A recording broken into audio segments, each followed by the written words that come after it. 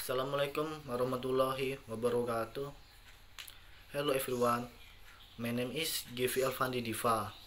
I'm from Universitas Mulawarman.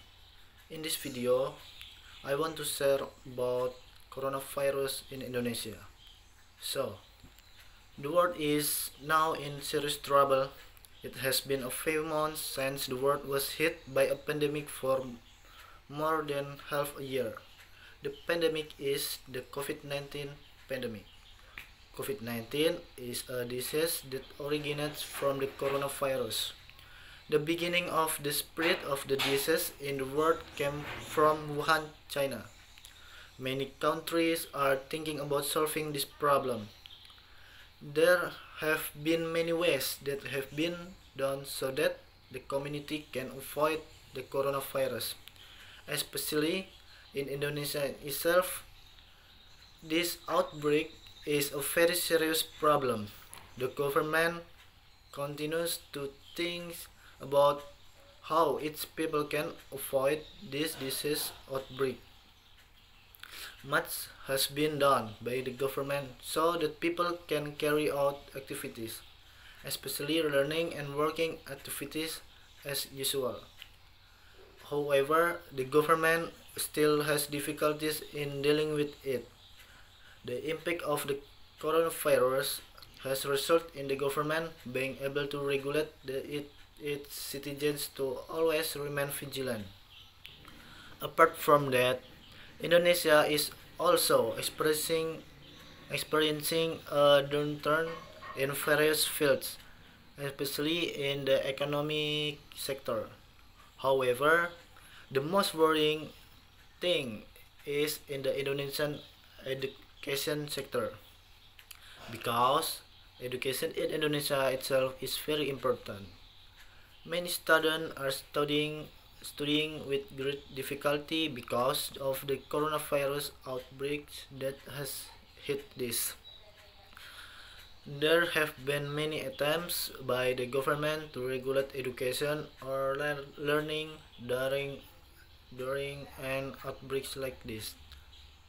One of them is learning with the online method. The reason is that learning must exist in spite of the very serious, serious problems that are currently being faced. By still paying attention to existing health protocols, that way students can take part in learning safely and smoothly. However, all of this does not have to go, to, to go smoothly. There are so many problems faced by students. I survey several students who are now implementing online learning. They say that this learning is ineffective. The reason is because they feel that online learning is very difficult to understand, especially subjects that concern number. They argue that it will be easier, easier if taught directly. Second, the problem that hit them is a network problem. Not all of the networks they use can support learning. In remote area, it is very difficult to retrieve good tissue. Not only that, some of them also sometimes find it difficult to buy internet quota due to family financial problems that are not always enough. The above are problems experienced by high school children and above. Not to mention for elementary and junior high school students, students, students under high school are still young and too fast to use cell phones. Moreover, elementary students I have asked and looked directly at the children who are still in elementary school. Most of them cannot use cell phones. Children their age should not be allowed to play cell phone because cell phone can make them addicted. Better if they are addicted to learning on average they are addicted to playing game on their cell phone. It is a serious problem and must be dealt with especially for their parents. Another problem that commonly occurs is the limitation of parents in buying or owning a sophisticated cell phone. On average, they do not have sophisticated cell phones because the reason that the cell phone use are sufficient to reply to messages and only call without other advanced, features. Not to mention the internet quota that must be broadcast constantly as a result of using feature or application to learn online. From the problem experienced by elementary, junior high, high school, and university, uh, university students, there are also opinions from them about the good impact of this online learning. The first is that they say that online learning is simple and not complicated.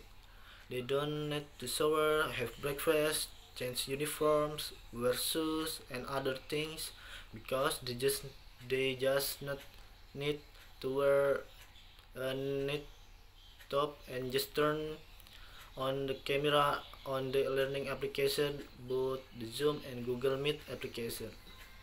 The second advantage advantage they say they can stud, study study while lying down.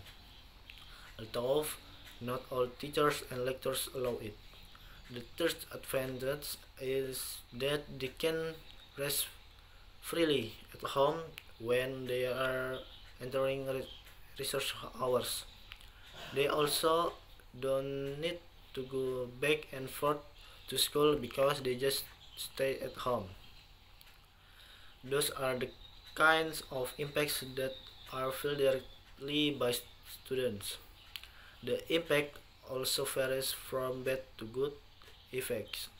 The conclusion is that we are currently being hit by an outbreak of a dangerous disease, namely the COVID-19 disease which originates from the coronavirus. The learning had to be carried out at home and using an online system. Even though there are various impacts, we must carry out all of them in a relaxed and calm manner so that later the lessons we get are not in vain. In addition, we must also implement existing health protocols so that later we can resolve the outbreak of these diseases and not worsen the situation. This is all done so that we can go to school or gain knowledge as usual again. Okay, thank you for your attention. Assalamualaikum warahmatullahi wabarakatuh.